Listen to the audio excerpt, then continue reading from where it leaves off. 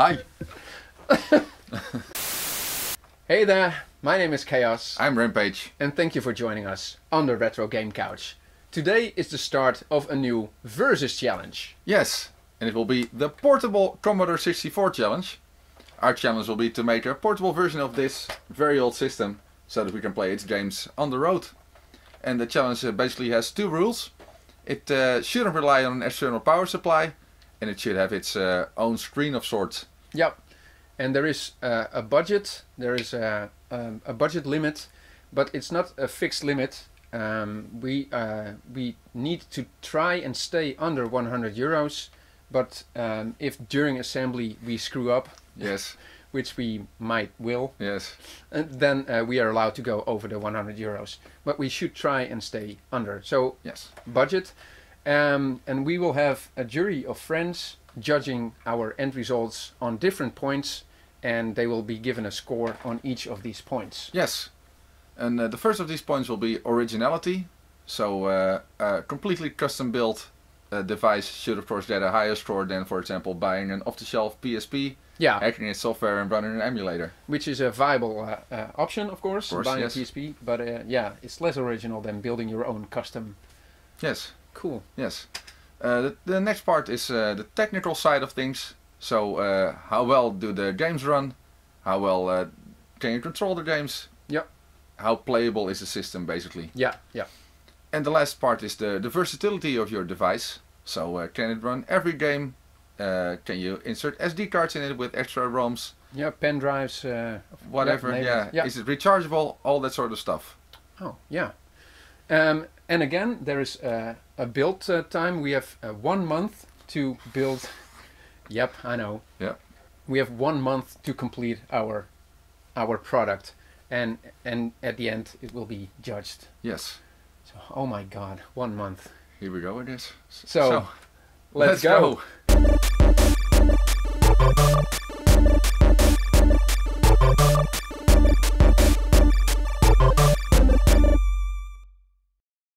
Day one of our portable Commodore 64 challenge, and I'm uh, looking online to see what my uh, options are, and I'm uh, probably going for the Raspberry Pi uh, route. That means I'm going to buy a, a Raspberry Pi Zero with a screen attached to it, and uh, I need to find a way to uh, control the games. So um, make a layout with buttons of sorts, and I'll do some more research and I'll give an update when I know more. Building a portable Commodore 64. Finally, a challenge that is right up my alley because the Commodore 64 is my favorite old school computer. And um, for this challenge, I will probably go the emulation route. So I'm gonna probably take a Raspberry Pi and build a Commodore 64 and emulate it. I'm not going to use the original uh, internal hardware. Um, I'm not going to use the CD-TV, a portable Commodore 64, which would be a viable choice, but um, I want to build something. So that's the um, that's the path I'm going to take for this challenge, and I'm I'm really excited for this one. The Commodore 64, very cool. After a few days of careful consideration, I'm now sure that my project will be based around a little Raspberry Pi Zero. And I just ordered uh, everything I need from uh, Adafruit or Adafruit.com. Uh, so I ordered the Raspberry Pi Zero itself, a screen, the wires, some buttons, everything I need basically, except for the lithium polymer battery, which I couldn't ship to Europe because of air postal regulations. So uh, I quickly uh, Googled and I found that a Dutch shop, Kiwi Electronics, also uh, ships these batteries. So uh, I ordered the battery from there. So here is an update on my side. Uh, I've been trying to get supplies for building my own Commodore 64, my own portable Commodore 64. And it's about 78 euros and that doesn't even include the screen or the case. So I have a bit of a problem. But um, I've been um, basing my design on a Raspberry Pi 3 and these are around 40 euros and I should be focusing on the Raspberry Pi Zero, which is only, mm, well, this is four pounds. That's great. Next day and my battery is already delivered to uh, one of my neighbors, so I'm now going to pick it up. I went to number 23, but apparently it doesn't even exist. So I opened my uh, actual mailbox instead of my uh, virtual one. There's this note saying that they put it in a basket right in my backyard. So let's see if the package is there. Yep, there it is. Okay, so today I finally ordered my Raspberry Pi Zero from uh, the United Kingdom and I ordered a 3.5 inch touchscreen from China.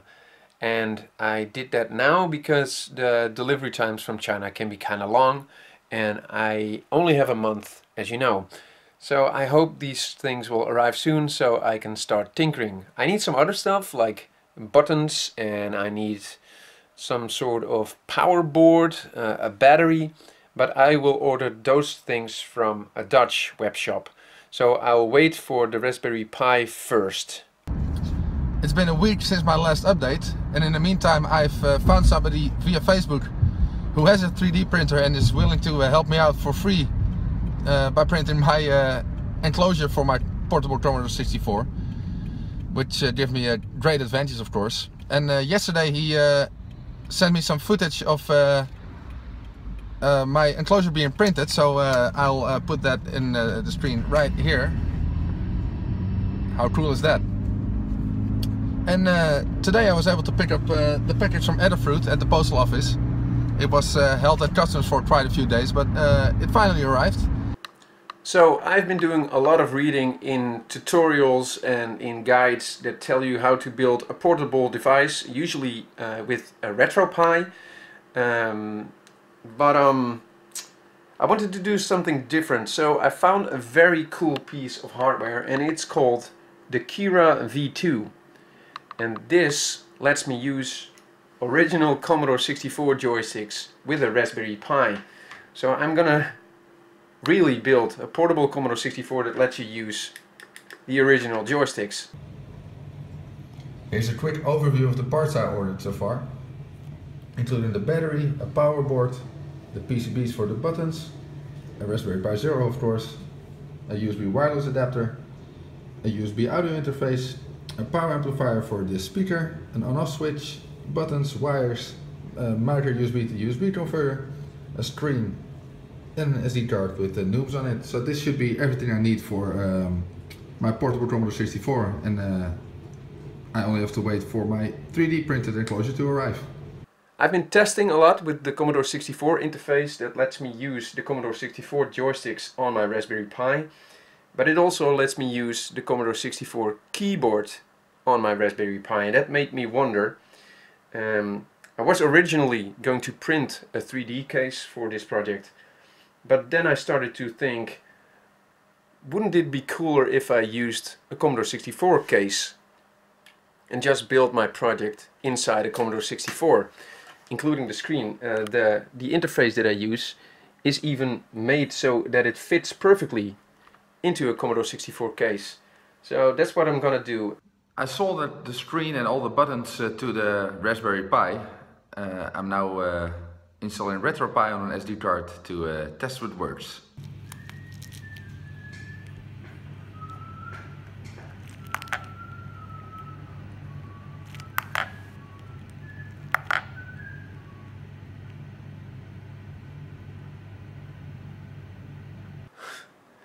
So today has been a very long and frustrating day trying to get the Keyrah to work on my Raspberry Pi and uh, I'll tell you why.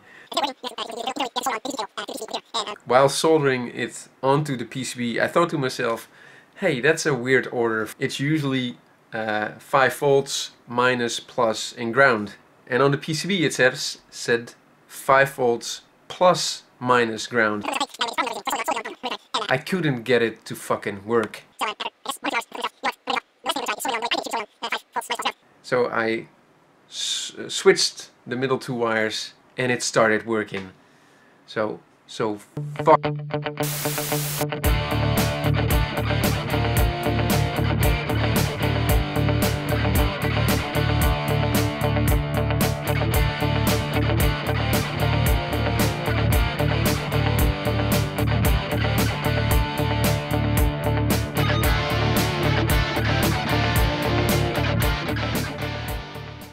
Looks like right before I mount everything into the case. I'll be the first to admit that this is not the tidiest soldering job I've ever done, but it works, so I guess it's good enough. So these are the circuit boards with a lot of soldering. This is the battery and the power circuit and the connections at the bottom. And the top of the enclosure with the buttons.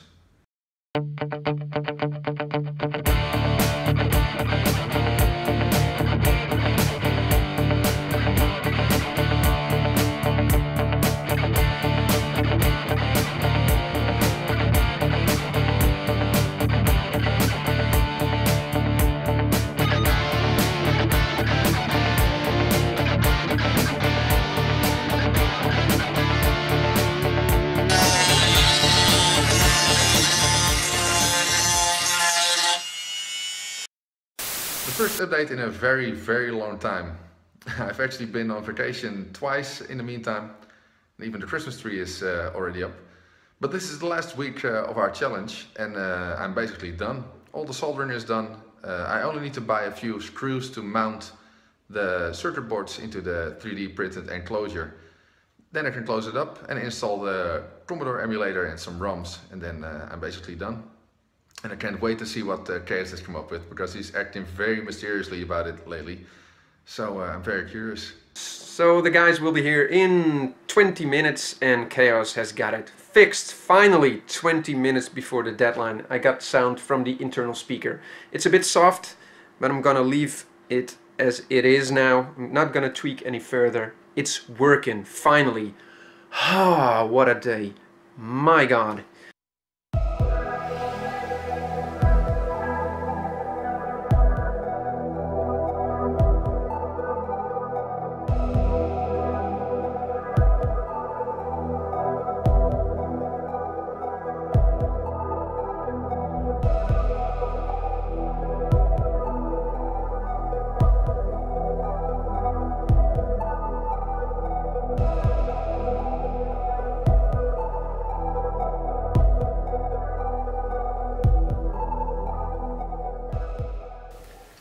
So the judges have uh, deliberated um, and uh, they have uh, graded our two um, Project. projects and uh, well, uh, judge behind the camera. Bring it on. Bring it on. Okay, so we've got the final score between Rampage and Chaos, and we had, in the end, we had three categories upon which we- we should decide which were versatility, the technical aspect, and originality. Yep. For, vers- for versatility, Rampage got a 7 and Chaos got an 8.5. This was mainly decided due to the fact that he can connect the original hardware, which greatly uh, enhances the usability of his portable Commodore 64. Technical aspect, Rampage Technical aspect, Rampage scored slightly higher with a 7.5 and Chaos scored a 7. This was decided due to the fact that uh, Rampage put uh, considerable, uh, considerable more effort into creating a custom casing and also upon seeing the inside uh, we decided that there was uh, some significant technical difficulties to take to, to create that and we appreciated that and that's why we decided you should get a higher score for that. Yep. And then in the Sounds end, fair. Yeah. In the end, originality, uh, Chaos scored slightly higher, and that was because the uh, challenge was to create a portable Commodore 64 and not necessarily create a portable game device with Commodore 64 games. And Cool. because your uh, device matches the challenge better, you got an 8 and Rampage got a 7.5, which brings your final score, Chaos, to 7.8 and Rampage's final score is a 7.3, making you the winner, Chaos. Wow. I won? I guess you did. Oh my god. Yes. So I redeemed myself from this horrible project. yes. it's only fair. I mean, look, look, look at it. I, I, I don't agree. I, you took a different path, yes. but I think this is yeah, this is a, a really cool project in the end. It's Yeah, a, of course. It's, it's a really cool device. But this is a portable Commodore 64. It is. In the It sense of the word. Yes, it is. Yes. But you built your own micro switched controller inside. Yeah. That's, that's awesome. So uh, True. I'm really jealous of your, uh, yeah, Sure. yep. Very cool. Cool. So um, that was uh, our versus challenge of building our own portable Commodore 64. Thank you so much for watching and we hope to see you next time on the Retro Game Couch.